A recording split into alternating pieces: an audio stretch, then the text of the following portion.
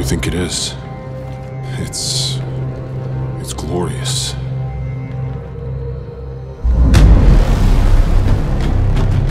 It's dangerous out there.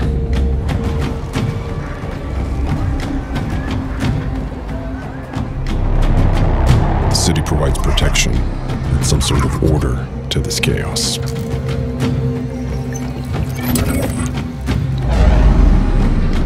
If we follow the rules and keep our heads down, there's nothing to worry about.